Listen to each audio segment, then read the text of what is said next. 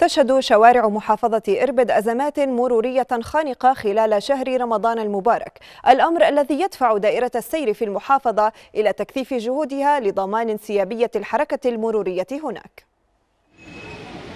تشهد محافظة إربد مع بداية شهر رمضان المبارك ازدحامات مرورية خانقة في العديد من الشوارع لا سيما خلال الساعات التي تسبق موعد الإفطار حيث يخرج المواطنون لشراء احتياجاتهم من السلع. مواطنون أكدوا أن عدم التزام بعض السائقين بقواعد المرور هو الذي يتسبب بالأزمات المرورية علاوة على خصوصية الشهر الفضيل.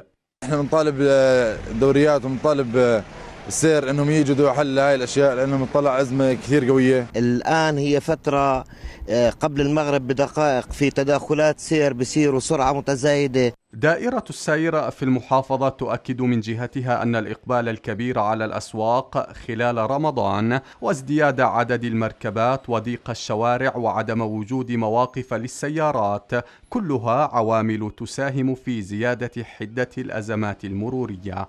طبعا موجودين إحنا كرجال السير في محافظة إربد موزعين على جميع التقاطعات والمداخل والمخارج والدواوير والإشارات الضوئية اللي بتشهد كثافة مرورية هائلة هدفنا هو توفير بيئة مرورية آمنة لجميع المستخدمين الطريق للحد من حوادث السير وتسهيل العملية المرورية على جميع الأخوة المواطنين. إلا أن دور رجال السير لا يقتصر فقط على تنظيم الحركة المرورية وإنما امتد ليشمل توزيع المياه والتمور على المركبات قبل فترة قصيرة من أذان المغرب.